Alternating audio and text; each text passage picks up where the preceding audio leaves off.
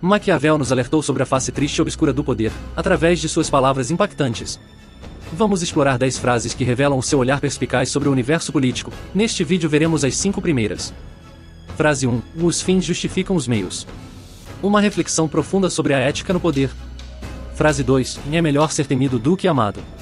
Uma visão sobre a liderança e a dinâmica do medo.